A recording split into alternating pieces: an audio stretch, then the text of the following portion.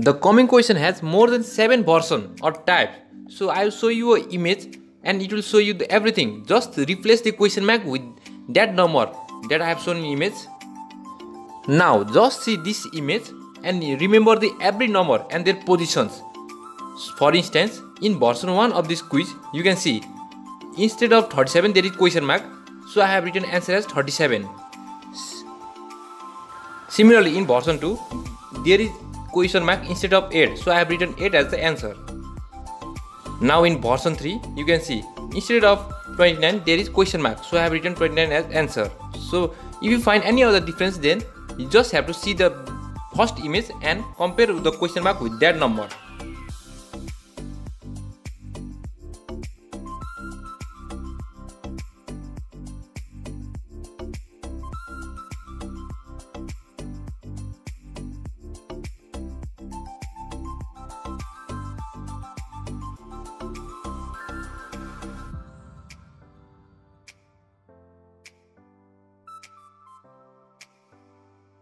The coming question has more than 3 versions or can be more, but I'll show you a trick that will help you to get 100% score in this question.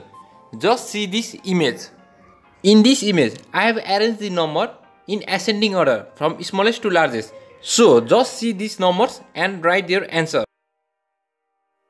For example, in version 1, you can see I have written C as the first letter as minus 0.3 is the smallest and B as the last as root 1 is the largest number. Similarly, in version 2, you can see I have written C as the first letter as minus 0.3 is the smallest and A as the last letter as root 1 is the largest number. Similarly, for version 3, you can write as I have shown the trick.